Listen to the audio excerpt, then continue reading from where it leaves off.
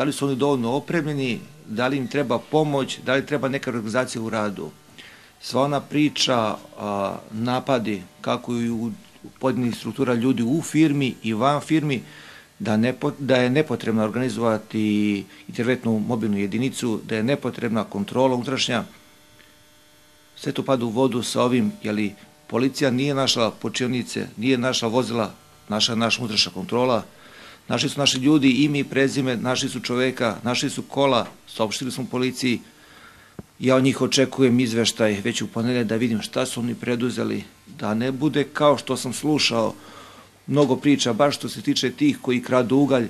da oni nađu, dovedu pred policiju, policija ih pokupi i povezu ih nekih kilometra, onda ih puste. Direktor Kolubara usluga sastao se i sa komandirom Lazarevačke policijske stanice Radojkom Caran i tom prilikom zatražio zvaničan izveštaj o sprovođenju istrage kada je ovaj slučaj u pitanju. Jevtić je naglasio da neće dozvoliti da pokuši ubistva radnika Kolubara usluga ostane nerešen.